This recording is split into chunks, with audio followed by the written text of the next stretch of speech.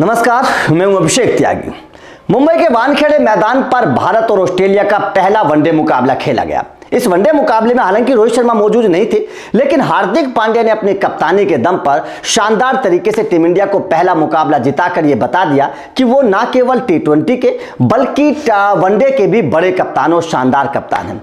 इस मुकाबले की अगर मैं बात करूँ तो मोहम्मद सिराज ने शानदार गेंदबाजी करी, रविंद्र जडेजा ने कमाल की गेंदबाजी और फील्डिंग करके दिखाई। मोहम्मद शमी हमेशा ही बेहतर करते हैं, मोहम्मद शमी ने बेहतर गेंदबाजी की। लेकिन इस मैच के दौरान एक ऐसी तस्वीर तस्वीर आई जिस तस्वीर ने हर किसी का ध्यान खींचा और हर कोई ये सोचने पर मजबूर हो गया कि क्या वास्तव में हार्दिक पांड्या इस मैच में कप्तान थे?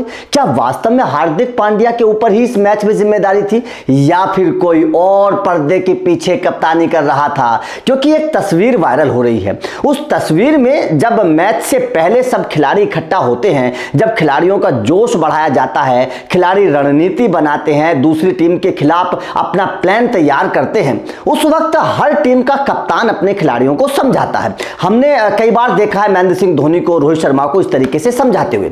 लेकिन जब आज के मुकाबले में टीम इंडिया की टीम मीटिंग चल रही थी, उस वक्त हार्दिक पांड्या टीम को नहीं समझा रहे थे, बल्कि विराट कोहली टीम को समझा रहे थे। विराट कोहली टीम की रणनीति बना रहे थे, खिलाड़ियों को बताकर, प्लान बता रहे थे कि हमें किस तरीके से करना है। इस तस्वीर ने हर किसी के जहन में एक सवाल पैदा कर दिया कि क्या वास्तव में हार्दिक पांड्या की जगह विराट कोहली तो आज के मैच में कप्तानी नहीं कर रहे हैं, क्योंकि रोहित शर्मा थे नहीं। हार्दिक पांड्या को वनडे टीम की कप्तानी का उतना अनुभव है नहीं। टीम इंडिया की उन्होंने टी की कप्तानी करी है। तो ज़ाहिर तौर पर ऐसे मौके पर आपको सीनियर कप्तान का एक अनुभव ज़रूरी होता है। सीनियर कप्तान की एक मदद मिलनी बहुत ज़रूरी होती है। और उस सीनियर कप्तान की मदद के तौर पर विराट कोहली ने टीम मीटिंग में सभी खिलाड़ियों को समझाया। विराट कोहली ने अपनी ज़िम्मेदारी निभाई। अपनी सीनियरिटी की जो ज़िम्मेदारी ज़िम्मेदारी होती है, वो उन्होंने दिखाई और हार्दिक पांड्या की मदद करते हुए मैच से पहले सभी खिलाड़ियों को रणनीति के बारे में बताया और सभी खिलाड़ियों की मीटिंग ली, जो तस्वीर सोशल मीडिया पर इस वक्त वायरल हो रही है। और उसका नतीजा भी हुआ।